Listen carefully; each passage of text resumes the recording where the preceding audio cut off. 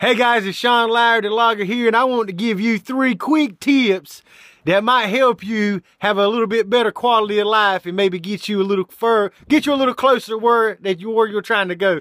Tip number one is don't listen to your friends, family, or co-workers. You know what I'm saying? Not unless, not unless, now listen, not unless they are headed in the path that you want to go or already there or, or getting information from a real good source. You know what I'm saying? Because a lot of people talk, you know, just like to talk, you know what I'm saying? And a, and a good, good way to catch somebody, good way to catch somebody when you're asking for advice, good way to catch them is ask them, how do you know?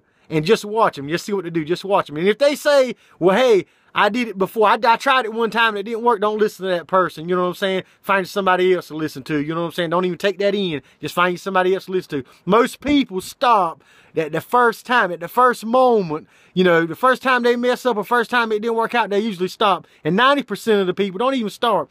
Tip number two is don't overlook opportunities. There's opportunities out here everywhere. They're abundant. They're out there everywhere. You know what I'm saying?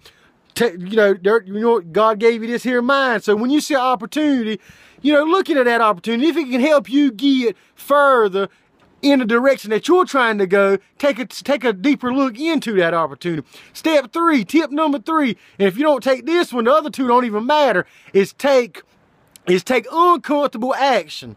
Yeah, that's right, uncomfortable action. Most of us are used to taking comfortable action. We're used to being comfortable, doing the same things all the time, doing stuff that we know how to do, but you won't grow like that. The only way to grow is take uncomfortable action. You know, a, a tree, a, a, just, a, just a tree trying to grow, you know, it's got to stretch its roots out to get to some water, to stretch out, to grow even more. It's got to be kind of uncomfortable to stretch and get out there. Same way about you, you know, you got to get uncomfortable, take uncomfortable action to try to get closer to the to the thing that you're trying to do. Cause I say that's the only way we're gonna be able to grow is to take uncomfortable action.